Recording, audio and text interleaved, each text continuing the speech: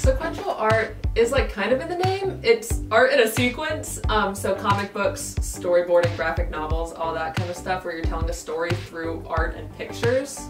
So you have a script that you go off of and you have dialogue in it and it tells essentially a story in sequential or not sequential order. It's kind of like illustration. Illustration is a very broad uh, major. It is a lot of drawing and like creating environments and concepts. And sequential art kind of takes that and forms it to comics and storytelling and storyboards. But also you get a lot of concept design, character design, environmental drawing, creating stories, writing stories. So you get a lot of different skills that you can apply to almost any job in sequential art. I'm hoping to be able to create comics, whether that's freelance or for a company like Marvel or DC. Um, but indie comics is kind of where my heart lies. I love just the issue, like floppy 30 page comic um, issues. I love those dearly.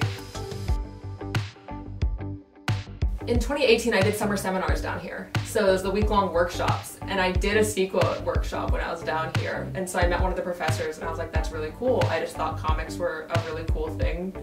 And so I found out it was a major through that, and then I was like, ride or die, like, this is the only school that offers it. I have to go. So I think it's just a really cool medium, and I've always thought that, and I really like the art that went into it.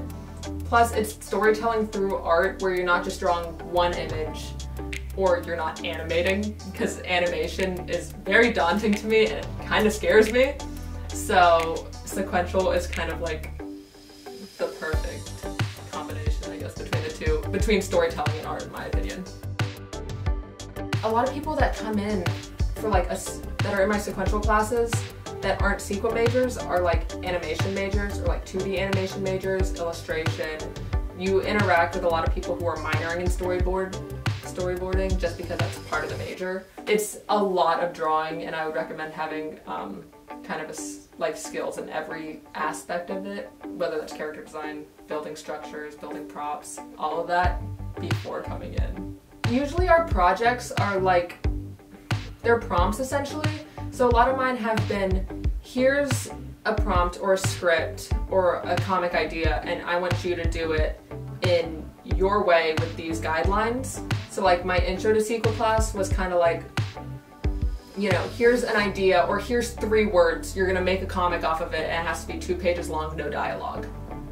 Or it's um, Survey of Sequential, which is like a history class.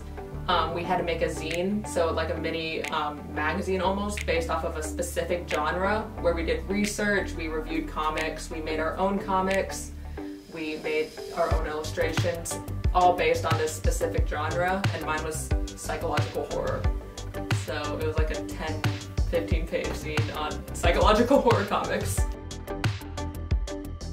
Um, if I was to describe SEQA in one word, it would probably be eccentric, just because you, one, you're selling yourself when it comes to art, um, especially comics, because you're just being like, look what I can do and look at the fun stories that I've made when asking for a job, essentially. But also you have to just come in ready for very eccentric or um, kind of out there people that you're gonna interact with. And also all the professors are very high energy. So they're very intense people in the sense that they have a few things that they really, really love and are passionate about.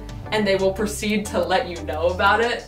Um, and that's something that I have also experienced with Sequel, SEQA kids, and I'm sure I'm also, you know, I also do it for sure I have a couple things that I can rant and rave about for hours.